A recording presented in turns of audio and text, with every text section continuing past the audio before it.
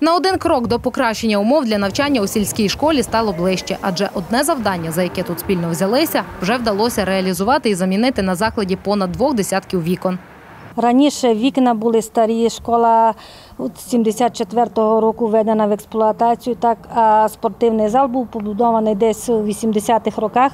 Вікна повністю зносилися, так що вони вже були не, ну, непридатні для використання. Потреба ж у заміні вікон виникла давно і з кожним роком поставала все гостріше, адже тепло у приміщеннях не зберігалося. Відтак дирекція школи неодноразово зверталася з цією проблемою, аби її вирішити.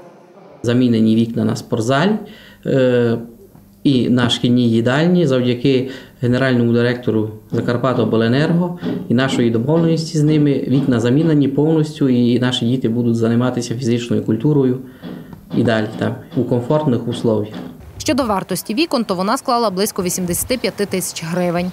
за підтримки депутата районної ради е, Олега Івановича Ігнатка і за підтримки спонсорів, який лобіював, е, щоб були замінені іменно вікна в цьому приміщенні.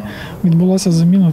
е, На що ми дуже дуже сильно дякуємо, тому що мало такого дає, щоб е, за спонсорські кошти поміняли всі вікна. На слідуючому етапі, я думаю, ми залучимо бюджетні кошти і зможемо зробити фасад цієї школи і провести ремонтні роботи спортзали, внутрішні, оздоблювальні роботи, а також дах, який ну, на жаль, на даний час протікає. Його потрібно ремонтувати. На черзі ремонт шкільного спортзалу із заміною даху. Мова про заміну крівлі на всій школі поки не йде, адже її міняли з десяток років тому, і вона кажуть, ще послужить. Реконструкцію ж спортивної зали розпочнуть найближчим часом. У цьому році е, так само плануємо е, провести реконструкцію спортивного залу загальноосвітньої школи е, Нижнього Бистрого.